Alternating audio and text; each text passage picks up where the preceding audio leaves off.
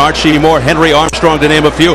Tonight, local favorite Cory Spinks puts his undisputed welterweight title on the line in a second go round with Zab Judah. Well, Cory Spinks in last minute preparations for a demanding rematch that could lead to even bigger bouts against the likes of Kostya Tszyu, Shane Mosley, Oscar De La Hoya. But Spinks isn't the kind of fighter to overlook the task at hand. Even though he's fighting in his hometown, he seems fully focused, mostly because he understands just how talented and hungry Zab Judah is. Spinks' mission tonight, erase any doubt and prove once and for all that he is the superior fighter. For more on Spinks, let's go to Al Bernstein. Well, you know, while Spinks' rematch with Judah is certainly compelling enough, a big part of this story, of course, is the venue. More than 20,000 people have paid their way to collectively wrap up Cory Spinks in a big hug that they hope will push him to a win and then even bigger and better things in boxing. But don't call this a homecoming because Cory has never left St. Louis. In fact, he told me he can't ever imagine living anyplace else. And that's really interesting because his formative years in this city were not without setbacks. Cory, this is the very street where you grew up on, uh, and you're making a triumphant return to St. Louis uh, for this championship fight. You, did you dream of such things when you were? Uh, it was it was one of my, my dreams not to just win a world title, but to um, defend my world title back at home in um, St. Louis. Cory Spinks was raised in the impoverished neighborhood of North St. Louis with a famous last name, but little else. His father had become an instant celebrity and a household name with his upset victory over Muhammad Ali. But Leon was an absentee father and hardly a champion in the crowded Spinks household. Cory, you uh, had a, a, childhood that was filled with, with issues, and uh, some people might have thought that the, the road would be paved with gold because of your name and because you had so much talent, and yet it wasn't exactly that way it was like all about survival. It was like a war going on in the streets, and you just had to be careful anywhere you went. A product of these tough streets, and coming from a fighting family, it was only natural Cory would gravitate to boxing. And at the tender age of six, he started at this storefront gym. My brother started boxing and everything, and um, and I didn't have to learn like the basic things like to jab and move. His older brother, Leon Calvin, was a talented amateur boxer who assumed the role of Cory's surrogate father. Taught me basically everything, how to talk to women and how to dance. Cory Spinks looking to bring back the old show Dance Fever, I think. Yeah, he's pretty happy, isn't he? Oh, this is just um, something I took from my um, brother. It's, he dances. He used to dance coming to the ring. Cory's version of this dance has become a celebration and an homage to Leon Calvin, whose life was cut short in 1990. For on this bridge, Cory's brother, close friend, and father figure was shot and killed. I saved the tears just until the, you know, the um, funeral. I let that's when I let it all out, and um, but um, I had to move on. You know, I, I just used that as strength when I box in the ring, you know, because I know he's there. To this day, the murder remains unsolved, but Cory has successfully moved on with his life and his career. He's a hero in his neighborhood, an undisputed world champion, and now a real son to his father. How'd you build a relationship back with your dad? Um, I, how much had to come from inside you to say, okay, uh, I want to do this, and how much came from him?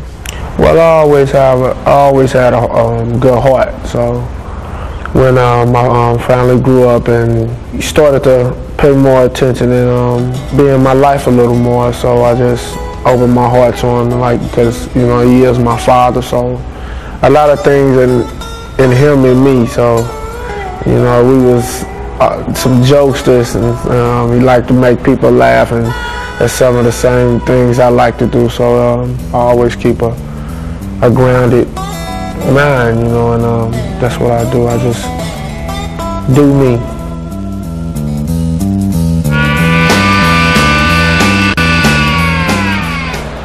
You know, even in the world of boxing, despite that famous last name, things have not come easily for Cory. Took him 30 matches to get a world title shot, and even then he was robbed of a decision after thoroughly outboxing Michele Piccirillo. But typically, he didn't wallow in his misfortune. Instead, he beat Piccirillo in a rematch to become champion.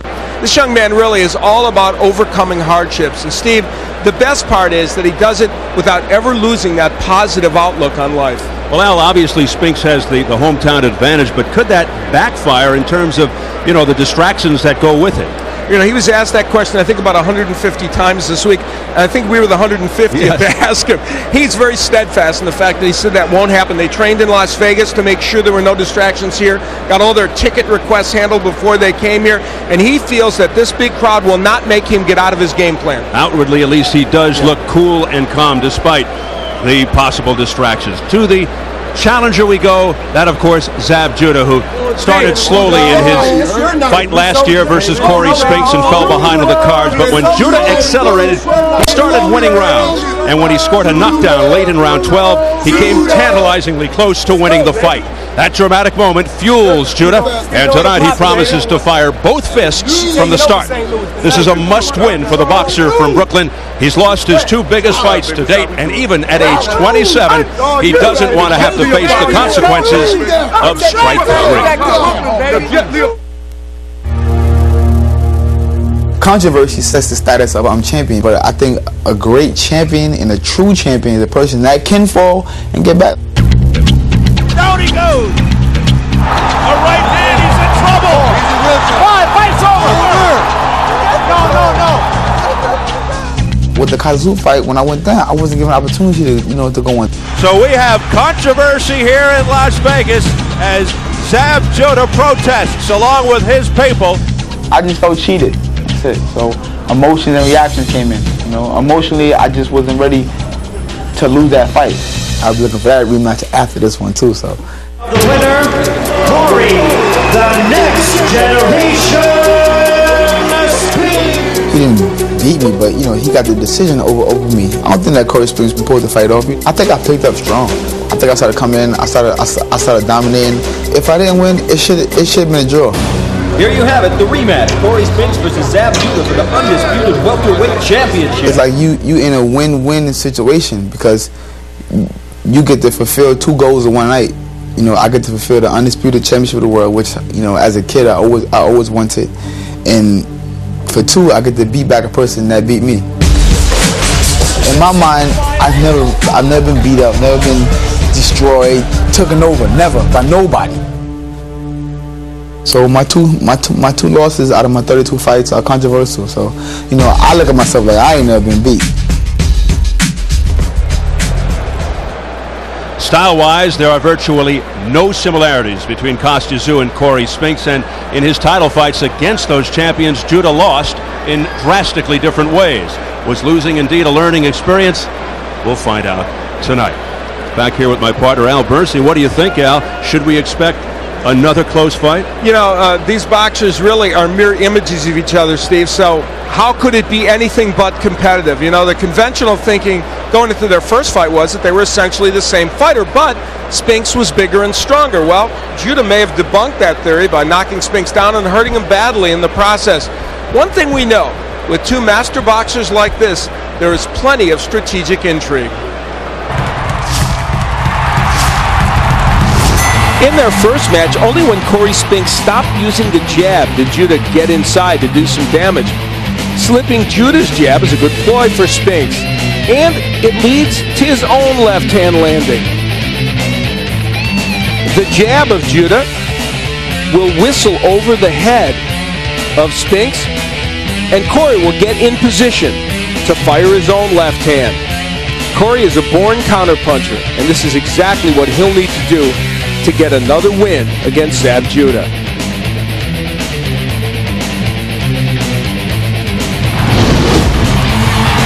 For Judah, well, he admits that his slow start cost him the first fight with Spinks. He needs to pick up the pace early, and he has to get past the Spinks jab so he can close the distance.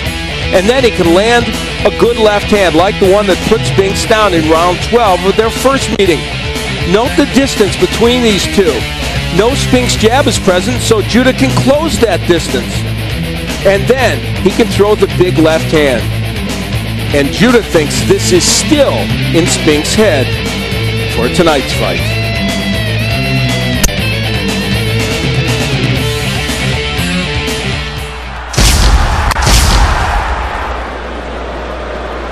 So, in a boxing event where the attendance figures have become as big a story as the fight itself, we are closing in on the rematch for the undisputed welterweight championship. We are set for the ring walks. Let's go to Jimmy Lennon Jr. Ladies and gentlemen, the time has come for the bout you've all been waiting for. Prepare to welcome the boxers as they make their way to the ring. First, ladies and gentlemen, here comes the challenger, the two time world champion from Brooklyn, New York. Please welcome Zab Super Judah.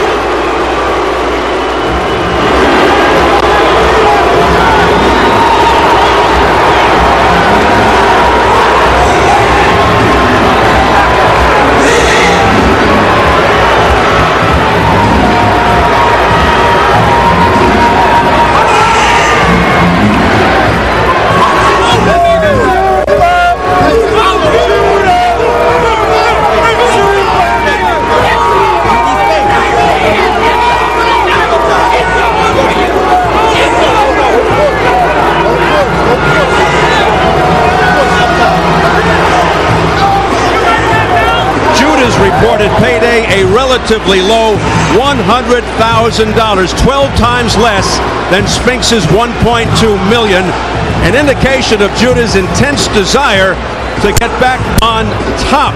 Judah, the slight underdog, a reverse of the first fight, well aware of the old boxing axiom to beat a guy in his hometown, you have to knock him out just to get a draw. And he's made it more than clear his intention is to start faster and more aggressively than the first fight.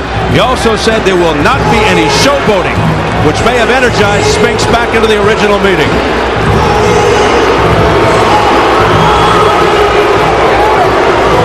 Coming in for what he hopes is the big payback, Zab Judah. Says he's thrilled to be in Spink's hometown of St. Louis. The notion that all the hometown hoopla will put extra pressure on Spinks and make his job easier.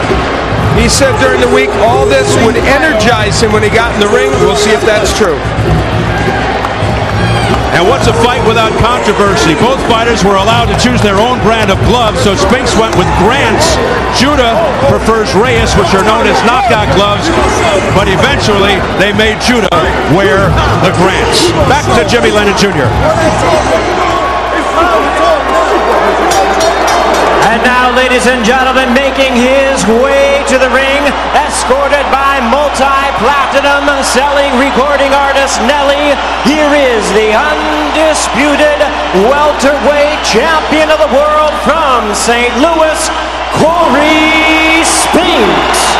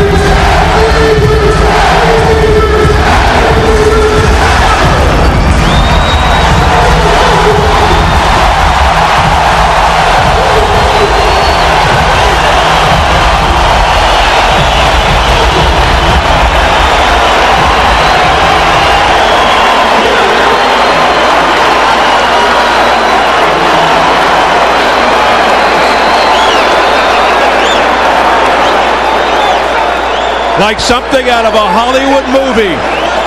What a show as recording star and St. Louis native Nelly escorted the champion Cory Spinks to the ring.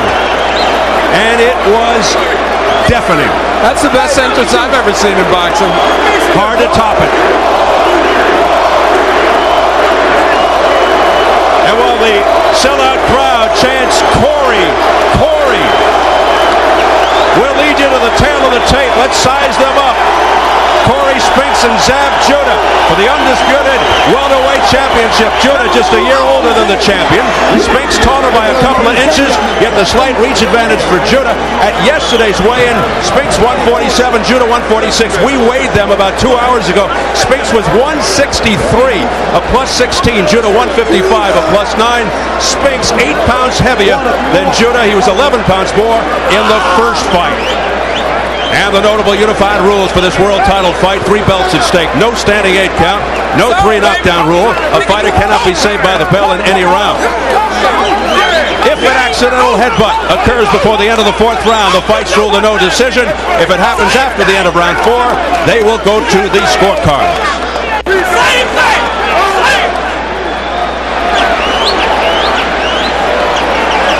So here at the Savvis Center, the sold-out Savvis Center, over 20,000 strong here in St. Louis, Missouri, getting ready for our main event, the undisputed welterweight championship, the rematch between Cory Spinks and Zab Judah. Let's get the official introductions from our ring announcer, the classy Jimmy Lennon Jr.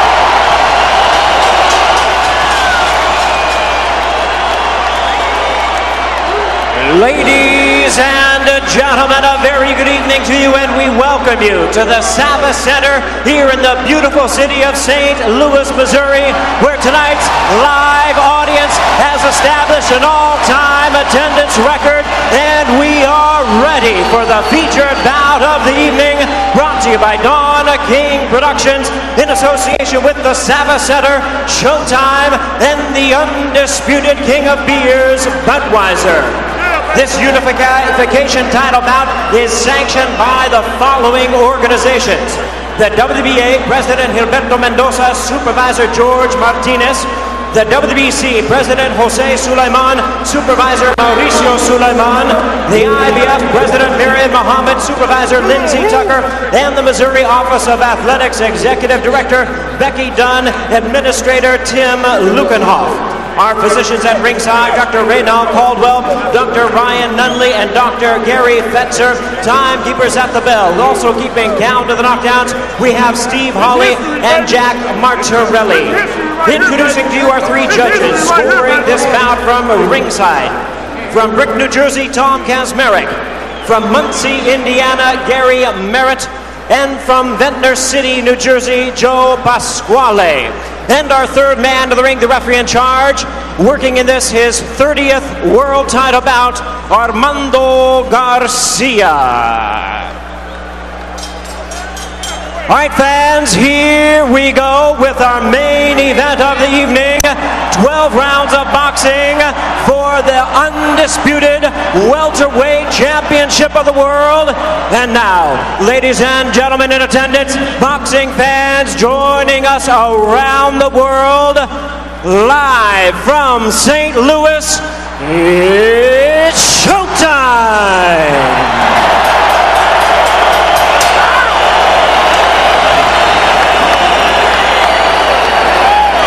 Introducing to you first on my right, the challenger, fighting out of the blue corner, wearing red trunks with white trim. He joins us from Brooklyn, New York. He weighed in at a ready 146 pounds. His record stands at 32 wins, two losses, one no contest with 23 wins coming by way of knockout. Ladies and gentlemen, tonight he is seeking revenge and challenging for the undisputed world title. Please welcome the two-time champion of the world, introducing Zab Super And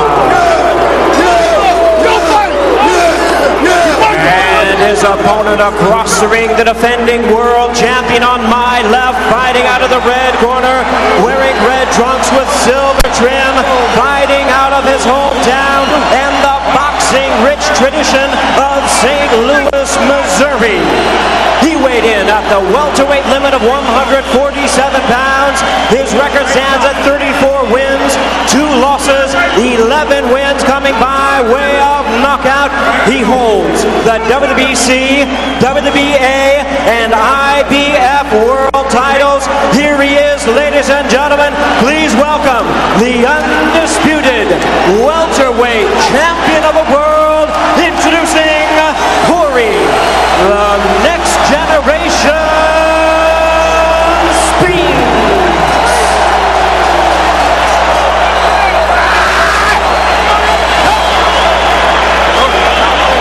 once again, a referee in charge, Armando Garcia, now to give instructions.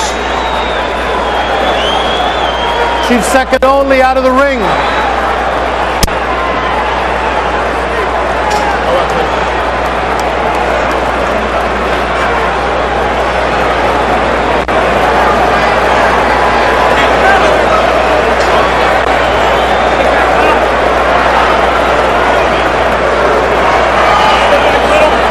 Cory Zab, we spoke in the dressing room. I'm confident that you know exactly what I expect of you. Obey my commands and protect yourself at all times. We agreed there's no holding, so don't make me pull your guys apart. Is that clear? Right here, I'll accept punches. Right here, I'll accept punches. Good luck. May the best man win. Touch gloves. Spinks didn't budge during those instructions. Judah hopping up and down. This is a case of both fighters knowing exactly what they have to do. Corey Spinks, even though he's the bigger guy, has to stay on the outside and box. His opponent, the challenger, Zab Judah, has to get inside and go to the body. It's a question of who can execute their plans the best. And the way the first fight ended, Judah said he's thinking of this as round 13. He says he'll start faster tonight, be more aggressive. He did not get off to a quick start in the first fight, saying he lost focus when the bell sounded. Told us he'll be extremely Let's go, focused out tonight now. Both because of you, let's there's go. no tomorrow. The interesting thing about this match, and it really fascinates me, is even though Zab Judah is the man that's come up from junior welterweight, uh, and Cory Spinks is a true welterweight, even Spinks kind of acknowledges that if this is a brawling, no, no, come punching match, it benefits Judah. So that's fascinating. And Judah made a very interesting point to us. That fight with Spinks was his very first as a welterweight. He's had a couple since, is more comfortable with this weight. We'll see if that's uh, a big factor.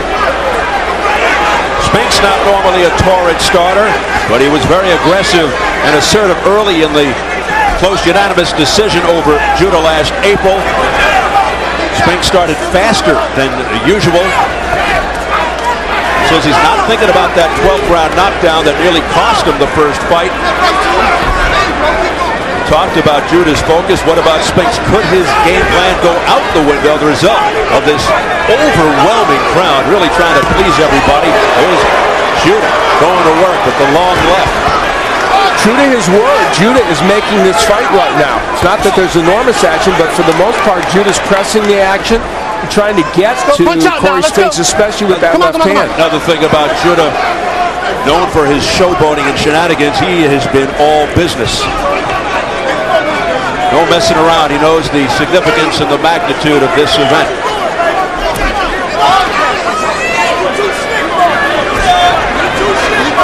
Judah says, I am here to take.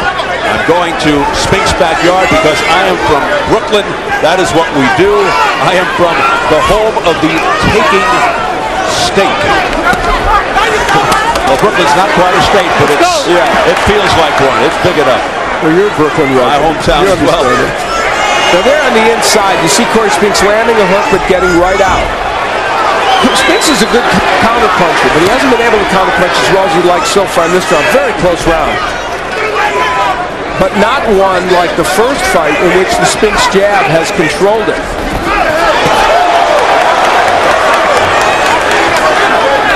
Judah has been the aggressor here with 30 seconds and counting in round one. Spinks from the tough north side of St. Louis, known as the Water Tower area. Used to be very wild when he lived in the city, now more grounded with a wife and daughter.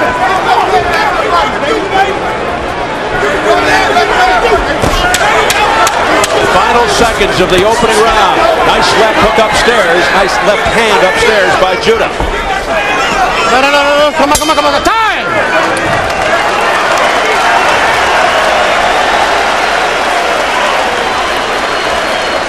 Party time, baby. Oh, oh, yo. You're doing beautiful. You know what I'm saying? You got that. You know what I'm saying? Now you got what you gotta do? You're gonna, come out, you're gonna come out moving and running. You gotta cut him off that and go to the body. This is a this is a breakdown process, alright? Breakdown. Keeps touching him. Yeah, here. Hey, hey, hey, out, roll. Hey, hey, hey, go. Alright? He keep touching. One, two, three, four. You're gonna grip him. I'm telling you. Keep your hands up, how you go. We get stay. Working, getting your rhythm, slipping and sliding, getting your rhythm.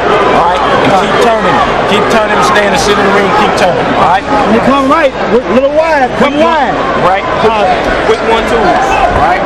Quick position. Kevin Cunningham, a former St. Louis policeman, former Army boxer, opened a boxing gym in the basement of an old police building. A longtime trainer of Cory Spinks. Spinks has nothing but respect for Cunningham. You know, in, in the case of both these fighters, obviously Yoel Judah, uh, Zab's father, he has great faith and trust in him. And as you pointed out, Kevin Cunningham, almost a father figure to Cory Spinks. So they both have confidence in their cornermen, and that's important. Also, Kenny Adams, former Olympic uh, head coach for the United States, in the corner of Cory Spinks, adding a, a good hand there as well. And a great cut man in Jim Strickland as well. So round two, and Spinks misses.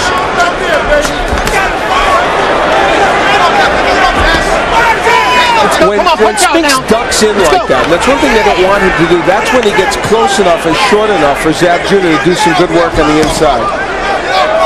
And we have seen less of the Spinks jab here than we saw in the first fight early on. He's not doubling up with it as much as he did then, and I, I- I think that's pretty important for him to do. Come on, punch out Booked now. on Judah, speedy, elusive, versatile southpaw, like Spinks, quick-handed, a lot of movement. The hand speed may be equal here. Zab may have the edge in foot speed. A lot of boxing ability. Tremendous reflexes, makes you miss, so slick and slippery. But then so is Spinks, who's an excellent defensive fighter. Let's go. Come on, come on, And come on, come on. probably the balance Punch out now. uh, edge goes to Cory Spinks. And we saw Judah knocked down uh, during the um, the first fight, primarily because of his balance. I mean, you've seen him, you've done many of his fights, of course, here at Showtime, and you've seen him go down because of that balance issue. Come on, You like on, the first fight. How many punches are being missed? So many were missed in the first fight in the first five rounds, and that was more a testimony to their defense than lack of offense, and the same could be said right here. It took them a while to find the range in that first fight. Spinks really makes for entertaining fights. Almost turns it into an art form. Tremendous hand speed. Most people, of course, like watching big punchers, but Spinks, I guess you can say he engages in battle enough to make it interesting. But by no means is he a big puncher, but an outstanding technical fighter. The ring is his office. He's so confident, so relaxed. Spinks working on the inside where Judah wants to be. Judah's been very inactive in this round. This is one of those rounds reminiscent of the early part of the previous fight. And he's allowed Spinks to, I think, to take control of this round after a pretty good first round for Judah.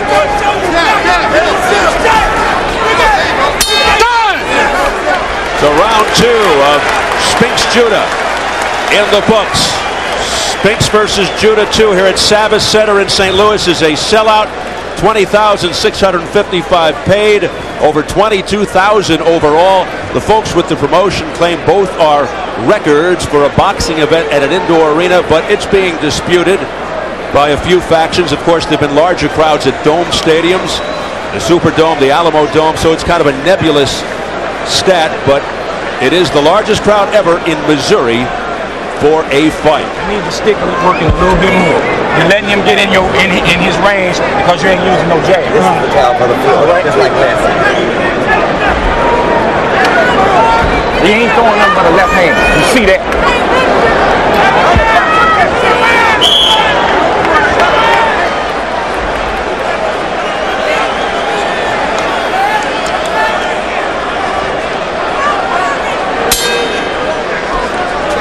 Three. One of the reasons for the great turnout, St. Louis sports fans really respect the way Spinks built his career here in St. Louis. Took no shortcuts, many modest paydays in small local venues. Worked his way to the top the old-fashioned way. He earned it. Interesting though, despite his success finding it difficult to get respect from the boxing world overall. Kevin Cunningham, we heard him say to Cory Spinks, you're not using your jab. You've got to use that punch more. Was the jab from Judah. And they were talking about Judah's reliance on throwing that straight left hand, which he has tried to get in.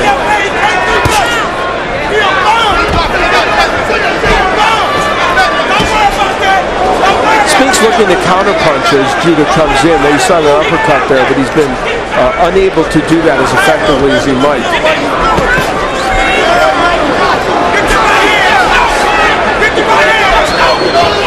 Cunningham had a problem with the the judges. Two of them were from the East. Tommy Kaczmarek and Joe Pasquale, both from New Jersey. Gary Merritt from Indiana. Kaczmarek, uh, highly regarded, one of the, the top judges in the East. That's an issue, though. You know, there were two issues. One was the gloves, which you alluded to. It ended up being two Grant gloves being used, not Reyes for Judah, though Reyes gloves, presumably better puncher's gloves. Whether that's true or not remains to be seen, but boxing people feel. The second was two of these judges being from the East Coast. Um, Kevin Cunningham was livid over that. Gary Merritt's from the Midwest. He couldn't understand why there'd be two judges from the East Coast in this fight. But uh, the administrator here, Tim Lueckenhoff, said that, well, he had to deal with the list given to him by the IBF um, and uh, the other organizations, and that was the best he could do. He didn't worry about geography. Let's go. Come on, punch out now. Third man in the ring, Armando Garcia from Miami, Florida. Before tonight, probably his biggest fight was Roy Jones, Ricky Frazier in 1999. He did No, no, no, no, no. Come on, come on, come on, come on. a Let's couple go. of Joel Casamayor fights. You know, they were on the inside there, and Zab Judah wasn't. Oh, there he goes. There's good work on the inside by Judah. Before he wasn't willing to work on the inside. There he did. Both have a lot of room in which to operate. A big ring, 20 feet 6 inches.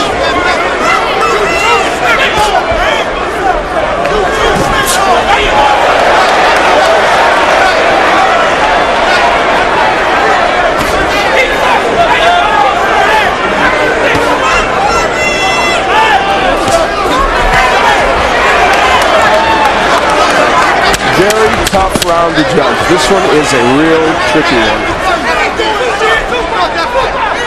As we head for the bell, round three.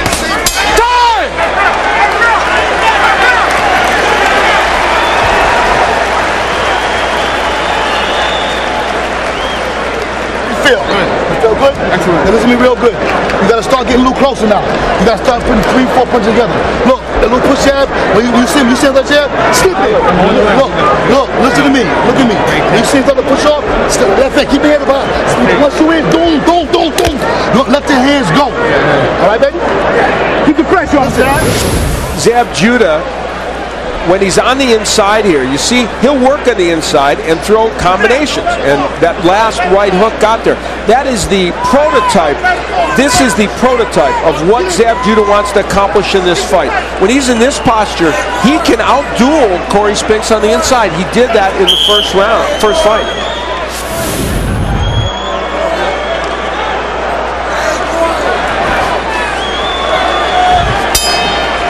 Round four scheduled for 12 for the undisputed welterweight championship.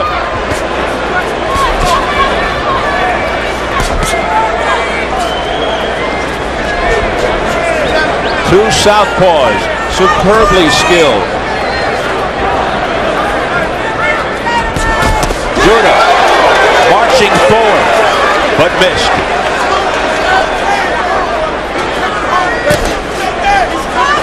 Cory Spinks is getting low a lot in this fight, kind of getting himself low and putting himself a little bit in position where things can get to him. There's a beautiful left, but a counter right by Cory Spinks, so things are heating up a little bit. Gets the crowd going.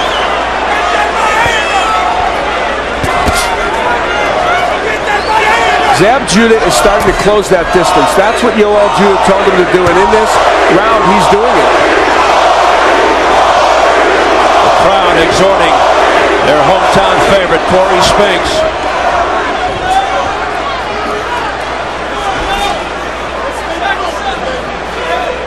This is their Super Bowl tonight. See how Judah gets low, and it's very tough for Cory Spinks to get to him. Spinks really needs the uppercut as an effective weapon. He has an uppercut, but it's not the major part of his arsenal.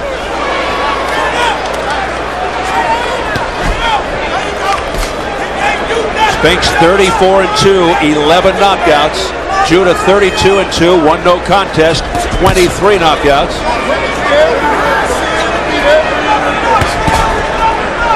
Spinks 9 and 0 in St. Louis. There's some good work by Spinks on the inside, and nice left hand by Spinks to the jaw of Judah. He's starting to climb back in in this round, a round in which Judah had kind of controlled it for the first portion of it. This last minute should determine who wins this round. Don't forget, Spinks had Judah down in the 11th round of the first fight, although it was a disputed knockdown. Judah claiming that it was a slip. And then, of course, with 28 seconds left in the 12th, Judah put Spinks down. And if he had about 30 more seconds, may have won the fight.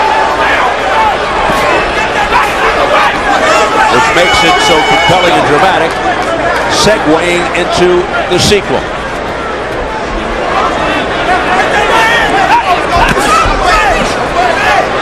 Come on, this come on, round on, is go, one go, that I think Cory Spinks took control of in the last minute. And maybe won in this round. And he's been more active.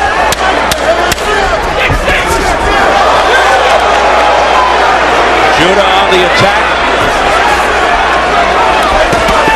Going to the body now. And an exchange at the bell.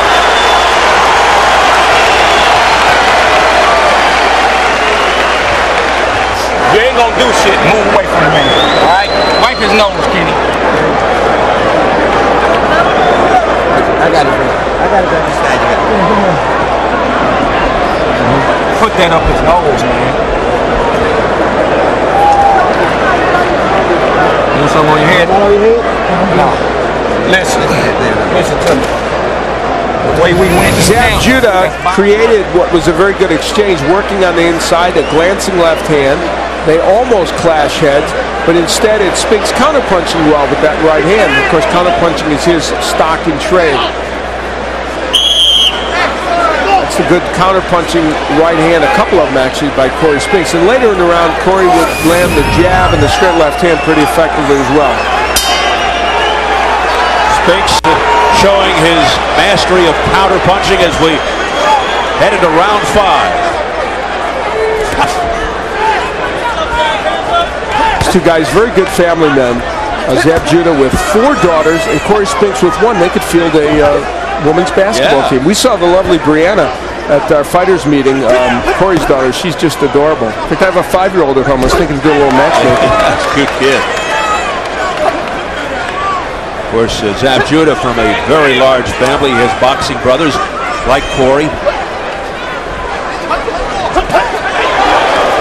Straight left hand by Spinks glancing, and Judah wants everyone to know it didn't land and shook his head.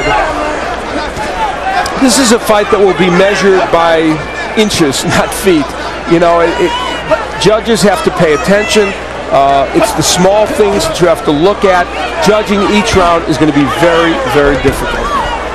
No, no, no, no, come on, come on, come on, come on, let's go. Spinks uh, ducking out of trouble, so elusive. And how do you not look at a fight like this and think maybe you might judge it on style over substance because there's so much style involved and really only a certain amount of substance. There are only so many punches that land in a fight like this. These are two very clever, crafty lefties. This round's a perfect example. There's a couple of jabs by Spinks, but not much has gotten in. And then Judah follows it up with a couple of jabs of his own. Now there's what Spinks wants to do. Throw three punches and get out. The epitome of the sweet science.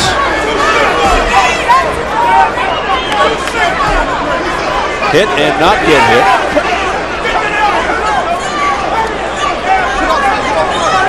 The mindset of both guys. Spinks off balance.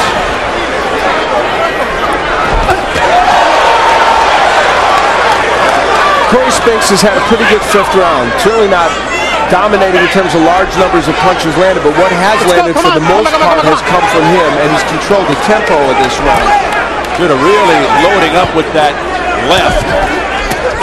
Got him with the right, did Judah. It was more of a slapping right to the left side of Spinks's face. Didn't have full power behind it. Spinks uh, just makes you miss. Let's see if it can make Judah pay. Counter right hand there by Cory Spinks. It was very effective. Great example of the way Spinks did that all night long was against Ricardo Mayorga. Brilliant effort by Cory Spinks. Again. Stop punch, step back. Spinks making Judah miss. Time! How about the look on Spinks' face as he walks back to the corner, looking back at Zab. Well, what's at stake here tonight? The Kostya sweepstakes are a dream come true for boxing fans around the world. It makes you salivate. You know, some fighters go their whole career without these kind of possible opponents. Some have to retire. They've no one to fight. Not true with Kostya Tszyu. There are lightweights that could come up and fight him, like Castillo and Corrales and Diaz. Junior welterweights to stay there, like Gatti and Vivian Harris. And of course, we're going to see Kostya Tszyu against Ricky Hatton June 4th here on Showtime from Manchester, England, where the, this kind of crowd will be on hand for Ricky Hatton. So that should be a thrilling match. They'll have 20,000 for that one, and that particular event sold out in three hours in Manchester. Here's Judah coming in, pushing the attack, did land that straight right hand in a round in which otherwise Cory Spinks was able to counter him pretty well, but that's an example of what Judah wants to do in this fight. And it's round six, scheduled for 12 for the undisputed welterweight championship. From the state-of-the-art Savvis Center here in St. Louis, Missouri, a crowd of 22,370, a complete sellout.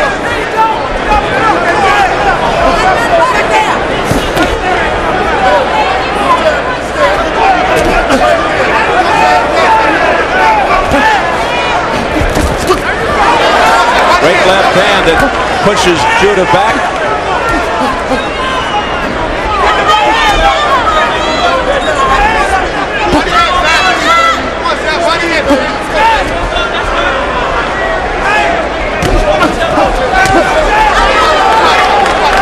Both men trying to use the jab effectively. There's no question Spinks has used it less than he did in the Step first back fight. now. Step back. He was doubling up with that jab and being very effective within that first fight. And it's been sporadic in this. Spinks, uh, although very low-key, laid back, a tough guy from the mean streets of St. Louis, had his share of street fights before entering the amateur ranks. Off a great 2004 with wins over Zab Judah dominating victory over former champ Miguel Angel Gonzalez. He is No, no, no, no, revered at his on, high school, Cory Both Spinks. you, We go. visited Beaumont High School. They've got a band here. Uh, he goes back and visits every every single uh, month. He goes back and visits, plays basketball with the kids, and uh, it's Let's go. Punch out. Come on. and uh, when we were there doing the feature on Cory, we got to see it, and it's uh, it's really remarkable. Doesn't forget his his roots, his upbringing. He's had a number of upset wins. Won the IBF welterweight belt over Michele Piccirillo in Italy. Not an easy task. And then wasn't expected Okay, to come on, beat come on, come on. Punch out Mayorga now. for the Let's go. BA and BC belts. Come on, come on, come on. Let's go. You got, can't do that, all right? And then he was the, the underdog in the first fight with Judah, so that too an upset. This is a very close round here in round six. Judah has gotten a little more done in this round. And again, you're not looking at large quantities of punches landing, so it's very difficult to pick out a winner. Can Cory put the proverbial Spinks jinx on Judah again?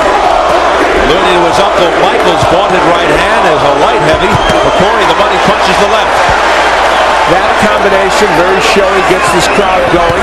That's the kind of thing Spinks wants to do a lot of. Go. Come on, come on, come on. Judah digging Stop to the punching, stop midsection. punching. Step back. Time. And a smile from Zab.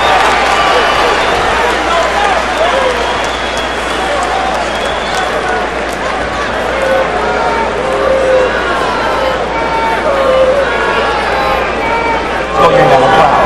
You don't have no problems in here. You touching him, touching him, and finding him, and firing your left hand. you ain't got- We see uh, Cory Spinks landing the counter left hand there against Zab Judah. And they are now Spinks is really trying to hold, and referee Garcia warning them about hitting on the break. Uh, but uh, Cory little holding. Here's Cory Spinks landing that straight left hand after the jab. That was maybe his best moment in that last round, and that is something he wants to do a lot of in this fight if he can. A very, very close round, might be a pivotal one in there round in round six.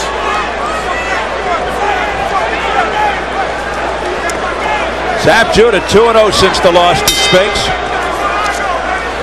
Round seven comes off a first round TKO over Wayne Martell. Zab scoring five knockdowns in the first round October 04. An obvious record padding fight. And then five weeks after the Spinks fight, an unimpressive split decision of a 38-year-old, 19-year veteran Rafael Pineda. Too much clowning around by Zab that uh, night, but Zab's speed too much for the veteran. Pineda the only common of one. And they both had trouble with Pineda. He's a very difficult man to to fight. Um, Cory won a, te- a win in seven over him, a technical decision win, but Pineda gave him trouble during the course of it. South Bend Cup. 2002 for Cory.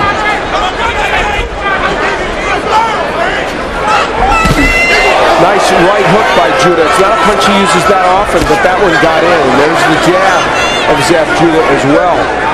Judah was 28 and 0 before the spectacular one-punch knockout loss to Kostya Tszyu. Scores at the midway point from press row.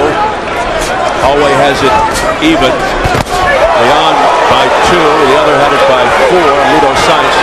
I have it 58-56 for Spinks, but I assure you, this could be an even fight. It could be very, No, no, it could no, be no, even no, come on, closer than on, the two come points because these rounds are very difficult to score. Little hook on the inside by Spinks. It's in the hands of Tommy Kaczmarek of Brick, New Jersey, Gary Merritt from Muncie, Indiana, and Joe Pasquale of Ventnor City, New Jersey.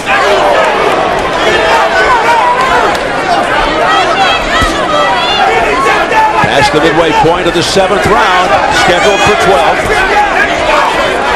Now we've seen Judah with those quick offensive bursts and the fact that he's coming forward mostly in this fight.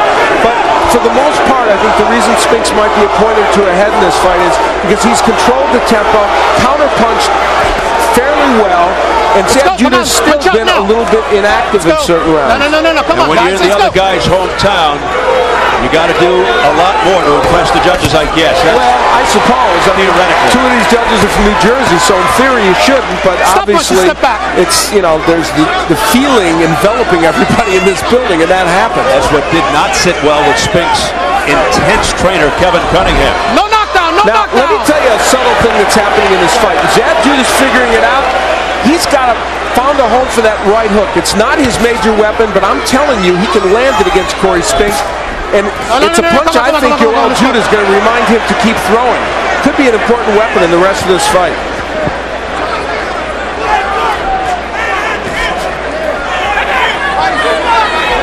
If you're just joining us, no knockdowns. Spinks was going for one there with that big left. But it whizzed by the ear. A left hand that that caught Spinks. Spinks is momentarily dazed. He did not go down, says Armando Garcia as the bell sounds, but did a glove hit the canvas? Any part of the body that hits the canvas, it's a knockdown. Garcia says no. And you fucking being like right? You cannot do that, man. You cannot be lazy not nine time in this fight. You got to be boxing, dude.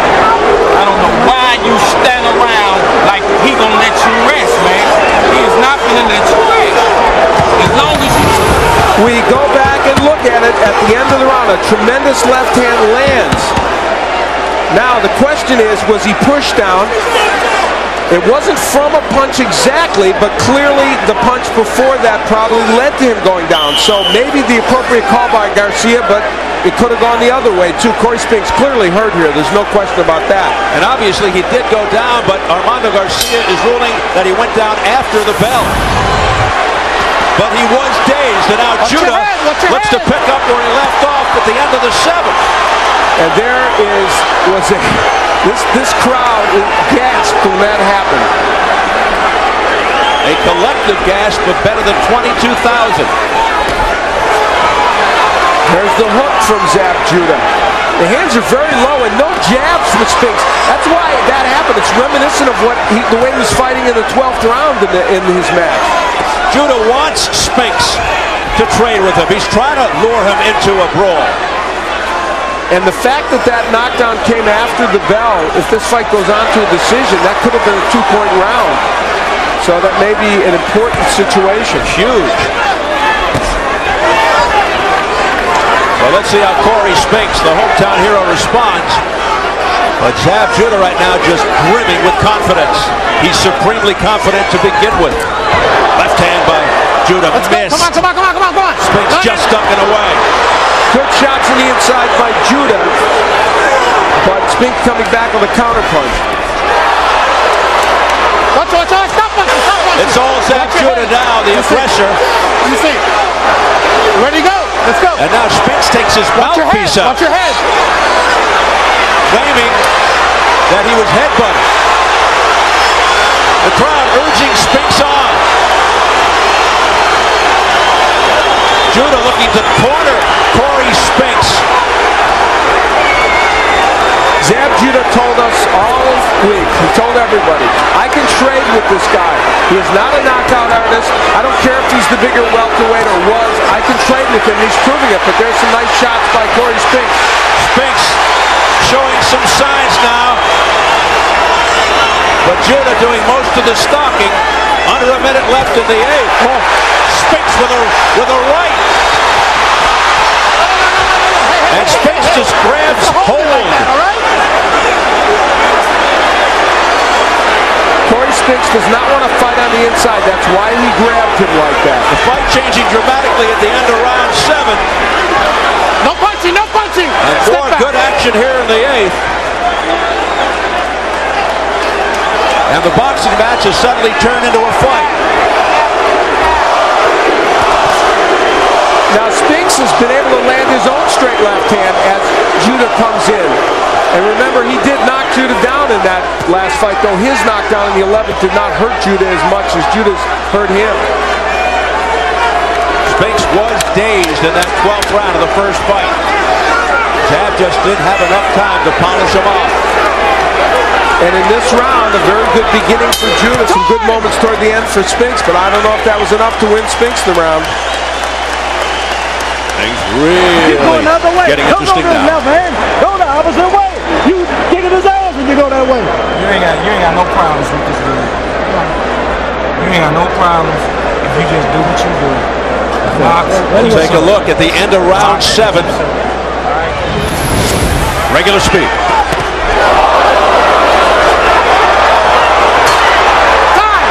Now you heard the bell. It came just before he hit the canvas, so Armando Garcia probably correct. And here in the last round, again, Cory Spinks would get hurt as Judah pushed him back with that straight left hand, and that's where the head went into the mouth, and then Judah keeps punching. But yes, it was a, a clash of heads, or uh, certainly from the standpoint of Spinks, he would say a headbutt to the mouth of Cory Spinks. That's the way Zab Judah, you know what? Zab Judah wants to get in there and make it a rough and tumble brawl. And remember that, you know, in the old days, you did all these Zab Judah fights. Crafty, clever boxer. Uh-uh, tonight, he's the bull. And Spinks, the Matador, round nine, scheduled for 12. Judah has taken control since the end of the seventh round when he momentarily staggered Cory Spinks at the very end of the round. Now, Cory Spinks is 5 and 0 in 12 rounders, and Judah is 4 and 1. The only loss came to Cory Spinks. Big left hand over the top to the head of Judah, and that stopped Zab in his tracks.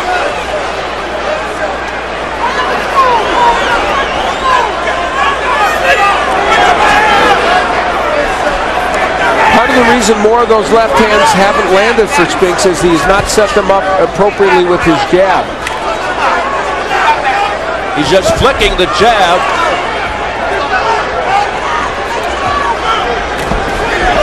More of a range fighting jab, not doing much.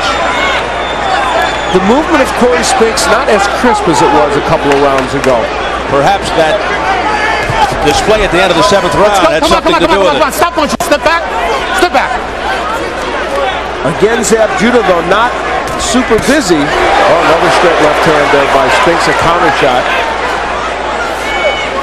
Now his punch is looking a No, little no, no, more no, no crisp, punching, step a little back. sharper Spinks. Past the midway point, round nine. Look at the press row scoring. Two out of three have Spinks ahead by two. One has Judah up by two. And I have it dead even at 76. Good work by Cory Spinks. He's doing well in this round. This may be a round in which he can edge ahead, at least on my scorecard, maybe ahead as some of the press row people said, uh, showed us on there. Uh-oh. Uh-oh. Judah with the big left hand now jumping all over Spinks. Down goes Spinks. Three, four, five, six, seven, eight. How we doing? Let's go. This crowd is aghast. He's got 40 seconds. Round nine. Spinks in trouble. Judah landed another left. Blanketing Cory Spinks. Stop punching. Step back. Let him go right now. This crowd in disbelief. Missing with the left. Got him with the right. The rope holding him up. Judah looking to Armando Garcia saying that should have been a knockdown. Because the rope held him up.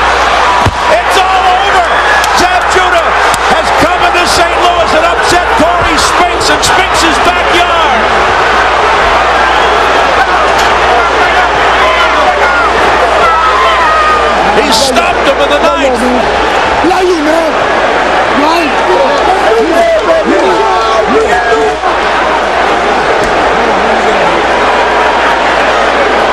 That's as dramatic an upset victory as you will ever see in boxing. Not that Zab Judah didn't have a chance to win this fight, he certainly did, but for Cory Spinks, just a terrible moment in front of this giant crowd. Look of disappointment and astonishment at the same time on the face of Cory Spinks. And Zab Judah, the man from Brooklyn, has come to St. Louis. And he did what he said he would do. He would take the titles away from Cory Spinks. And now hoisted to the shoulders, he will exult and celebrate. And it will not be appreciated by the fans here in St. Louis.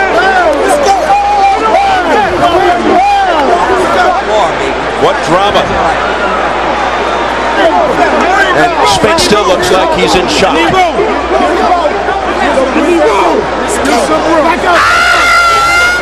Did somebody say trilogy? Well, you could make the case for one, but certainly this was a more dramatic victory for this man. Zab Judah, the slight underdog, comes into the hometown of Cory Spinks. Yeah, he's got one of those three belts there. Takes away the undisputed welterweight championship of the world here in St. Louis. Able to avenge his loss to Spinks in the first fight as he brings the belts home to Brooklyn.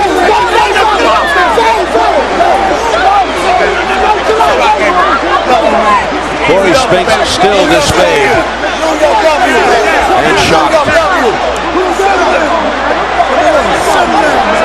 A show of sportsmanship here as Judah and Spinks come together and embrace. No showboating, no shenanigans, all business by Zab Judah. And he got the job done.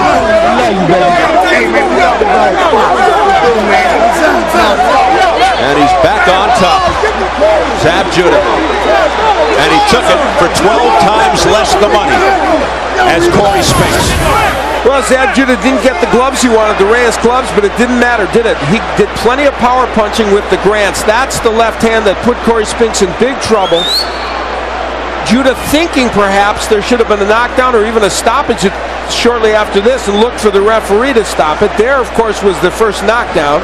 Um, and just a barrage of punches. And you know, when Zab Judah has someone hurt, he has such quick hands and he's such an accurate puncher that he's going to get them down. He did get Cory Spinks down. There was about 40 seconds left in this round, as you pointed out. So there was enough time for him to get the job done. But we look at that knockdown again. It was the straight left hand, which has been the bugaboo for Spinks when he fights Judah. And yet another one that sends him reeling backwards. He may have come up from the junior welterweight ranks, but Judah brought some power with him. Too much power for Cory Spinks in this fight. Spinks would go down. He would get up, of course, beat the count. But with 40 seconds left in this round, he would not be able to sustain. And we see the end of the fight here. There's that right hook, trying the right hook, and again the straight left hand by Judah, and he had been nailing Spinks with these punches. No complaints from the corner of Cory Spinks. And for Zab Judah, this may not be the location where he wanted to celebrate, but you know what? Internally, he's happy whatever these fans are thinking, and he celebrates. Zab Judah evens the score. Daddy, Daddy is the man. Judah surrounded by family and friends. And what a remarkable comeback for Judah, who only a year or so ago really was maybe by some considered lost in the sport of boxing. All right, Al, let's get the official word from our ring announcer, Jimmy Lennon Jr. Ladies and gentlemen, we have the time of 2 minutes 49 seconds in round number 9. Our referee in charge, Armando Garcia, stops the contest. The winner by way of technical knockout. He is the new undisputed welterweight champion of the world, Zab Super Judah. Fitting on Super Bowl weekend, Super Judah gets it done. In a very disappointing night, Corey Spinks getting a hug from Papa Leon, the former heavyweight champion. Somewhat reminiscent of when uh, Michael Nunn lost his hometown of Iowa to James Toney. Steve uh, Farhood getting in place to interview the new champion. As you can see, Zab Judah, a packed ring. Standing by with the new champion is our Steve Farhood. Steve, take it. Zab, Zab, why was it different this time? Um, I was determined, man. I was hungry. They put me in the backyard that put me. They put my back against the wall, man. First of all, I want to thank my Lord and Savior Jesus Christ and Lord and my and my and, and my God, man. Because without Him, I couldn't have made it, man. That's number one. You, he boxed and moved a lot more. You said you'd be more aggressive. Was your aggressiveness the reason you were able to land so many more shots? Well, first of all, you know what I'm saying? I know Cory Spinks is a great boxer. You know what I'm saying? You could tell, like, in one, in, one, of the rounds, he kind of got a little edge up on me, but I was determined, man. I told Don back in Florida training camp, I said, Don, I'm going to St. Louis, put it anywhere, and I'm knocking him out. I'm not going to win. I'm going to knock him out. Always, if you look at my press, I've been telling everybody, I'm going to knock him out. No disrespect to him. He's a great guy, great fighter, but it's my time, it's my era, and I'm determined right now. Zab, after you knocked him down in the last round, it looked like you were waiting for the referee or almost telling the referee to stop the fight. What was going on there? I mean, like I said, like I told people at the end of the night, me and Cory Spinks, you know what I'm saying? We got a date, a great deal of respect for each other, and I didn't want to hurt him in like that. I mean, I was hitting him, and, and you know, I seen, I seen his eyes rolling around his head, and you know, I didn't want to kill him or anything like that. So I was asking the ref to stop it, but the ref, you know, choose that the fight should have went on, and you know, I'm my own referee in here, man, definitely. Take a look at the monitor, Zab. This is the knockdown. Some left hand. Tell us about it. I mean, I mean, you can look at my record, man. My left hand speaks for itself. You know what I'm saying? That's one of my great assets. You know, he did a great job of getting away from it in the early rounds, but you know what I'm saying? At the at the, at the end, I kind of I kind of caught up with him. Now this is the end of the fight, Zab. Um, We're imploring the referee to stop it. Like I said, I have a great deal of respect for him. I'm not trying to hurt this man here. He got a family, he got a wife, he got children, and I'm not trying to, you know, what I'm saying, see none of us in here going here and get terminally hurt. I asked the ref for some help with the look. Look, I'm really like, ref, what you doing? You know what I'm saying? But you know, I said, hey, let me go ahead and do what I gotta do best. Cory Spinks, you're here as well. What do you? You're looking at the monitor as well. What do you see? Well, well, he caught me with a good shot. You know, um, I felt that I could have continued. You know what I'm saying? A-Count would have would have just got me. You know what I'm saying? He had me a little groggy, but I could have finished the fight. Well, the score is one-one now. Is it going to be a rubber match? Would you both like to see so, it? Hope so. I I gave the pleasure of giving him a rematch. I hope he do the same. Zab? I have no problem with it. Big Don is right here. He's in the horizon. This is the man that, that speaks it all. It's the guy that brought me back when everybody thought I thought, thought I was out. I let him make my decisions. Trilogy, DK. What is that? A trilogy, three fights. For Oh, it's got to be like just like it was with uh, Ali and Frazier. You know. So we're gonna be working at it. We're gonna be working at it. It's gonna. We got. We want to fight anybody and everybody. And Spinks is a good, good fighter. So the other possibilities are welterweight for these two guys. De La Hoya, Kostya Tszyu, put them on hold. Any of them, any of them, they all they all out there. There's opportunities for all of them. Welterweight is alive again with Spinks, with Zab Judah, with with Oscar De La Hoya. Every one of them is out there. Shane Mosley, anybody that wants to be in the in the group there, they can fight him. All righty. Maybe we'll see Spinks Judah 3. Steve, back to you. You know what I'm saying? All right, Steve Farhood, thank you very much. The crowd stunned. Better than 22,000 here. Many uh, just stuck in their, their tracks. They, they can't even move. Some of them have headed for the exits to go outside, but many of them are just milling around trying to make some sense of this, Al. Certainly not the ending they anticipated. Over 20,000 people. This city had gotten behind this event in just a huge way. They were looking ahead to all the great matches. And uh, what an interesting tableau there as Don King talked about other welterweights who might be facing Zab Judah. The look on Cory Spinks' face, uh, not a happy one. Let's see how the scoring went for this fight when the fight was stopped. Tommy Kaczmarek had Judah up 77 75. Gary Merritt, Judah 79 73. Wow, by Wow. six points. And Joe Pasquale had it by four points 78 74. Judah, where were you uh, at that particular juncture, uh, Al? Well, my scoring, let's see, I had it, uh, I had uh, Judah because of the two points. I would have had him two points ahead in that fight, 70 or by two points. So you had it more on the line of uh, New Jersey's Tommy Kaczmarek. Yes. And the press row scores uh, had it a, a split decision. They had uh, Spinks ahead. A split decision for the hometown uh, favorite, Spinks, 77 75 by two uh, of the press row guys. And then Cameron Holloway from the St. Louis Post Dispatch. How do you like that? He had Judah ahead, 77 75. So the hometown uh, sports writer had Judah up. Well, I think it was a much closer fight than two of the judges had it. Certainly, certainly Judah would have been ahead by. Uh, actually, I had it even now that I think about it, except the two points would have put him ahead. Shane of the year, father of the year, everything, baby. Let's do it. Yeah, and, and the extra knockdown, had it been called, although it did come after the bell, would have also aided Judah. Zab Judah there with his dad, his trainer, his manager, Yoel Judah. So the gamble pays off in a way for Zab Judah, who took this fight for only $100,000. I say only, relative to Cory Spinks' $1.2 million. And now he will be able to cash in, I would think. A really interesting, interesting metamorphosis for uh, Zab Judah. You, of course, did the fight when he lost to Kostya Tszyu. He was punched out by Kostya Tszyu. You know, too powerful a fighter for him at 140. Moves up to welterweight. And granted, Cory Spinks is not a big puncher, not a powerful welterweight, and yet it's Zab Judah at this weight that gets the job done as a puncher against Cory Spinks. Now, here's the point. In the future, as a welterweight, we may see Zab Judah the boxer again because there are other welterweights out there that hit harder than Spinks, even if they're not as good boxers. What do you think this does now to the Tszyu sweepstakes? Well, it's very interesting. Certainly, Zab Judah would like another shot at Kostya Tszyu. And Kostya Tszyu is thrilled to fight any left-hander anywhere, anytime. And I think he'd love to fight Judah again should he get past Ricky Hatton. Al, what about the depth of damage in the career of Cory Spinks? It's pretty dramatic, really. Uh, it's not to suggest that he can't be a player in the welterweight division.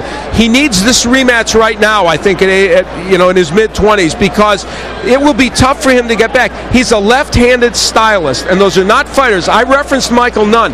When Michael Nunn lost to James Toney, it took him a long time to get back. He had to jump a weight division to get back. He was like Cory Spinks, a left-handed stylist. They're not in that big demand everywhere. Well, we pointed it out at the beginning the possibility of the hometown advantage working against you. It could at times be a distraction. You want to please everybody so much. Uh, you're answering to a lot of people, a lot of things going on in your head, and perhaps Zab Judah had a clearer head going into this fight? Well, you know, I think Zab Judah was right when he said he got into Cory Spinks' head with that last knockdown in the 12th round because Cory Spinks was a fighter who talked all about boxing. They were worried about punchers' gloves, and when he got in there tonight, he was all about safety. And when he got whacked, he, he got hurt by Zab Judah. So I think the grand answer here is that Zab Judah is a very good puncher when he faces Cory Spinks, and he can get that straight left-handed against Spinks. So that's maybe Cory Spinks' is Waterloo. Judah told us at the fighter meeting yesterday he's most comfortable now at 147, and uh, he proved it here tonight. He really did, and it'll be fascinating to see his development as a welterweight. If he faces guys that come up, or if he can fight some of these other true welterweights like Margarito and some of those other people. All right, we're going to uh, take you uh, into the dressing room right here. Very dramatic behind the scenes uh, material of Cory Spinks taking off uh, his equipment, his tape, his uh, boxing shoes. Very lonely uh, situation right now for the former champion. Cory Spinks bringing his title home to St. Louis, and as I pointed out at the beginning of the show, bringing it home against a very tough opponent. Normally, when you fight in a, a home crowd environment, you take on some tune-up or some fringe contender. He didn't do that, and of course, he that's why they put 20,000 people in here. But it's also why he ended up losing. Not the way Cory Spinks had it planned. That is for sure. So a very, very tough night for Cory Spinks. Uh, look, well, what do you think about a third fight? Well, you know, I think you can make a case for a third fight. The problem is that Zab Judah, I think, has demonstrated that he has more power than Cory Spinks, and so Cory Spinks will have to fight the perfect fight to beat him. Can he do it? Possibly, but it still remains to be seen. How about Cory Spinks, Zab Judah? Now in Judah's hometown. Well, and that's the point. It sure won't be in St. Louis, I don't think. Of course, they can make a lot of money here. All right, so we'll see what happens in the weeks and months to come as far as this situation is concerned. Will there be a third fight? We'll just have to wait and see, so stay tuned. As we wind things down from St. Louis, let's take a final look.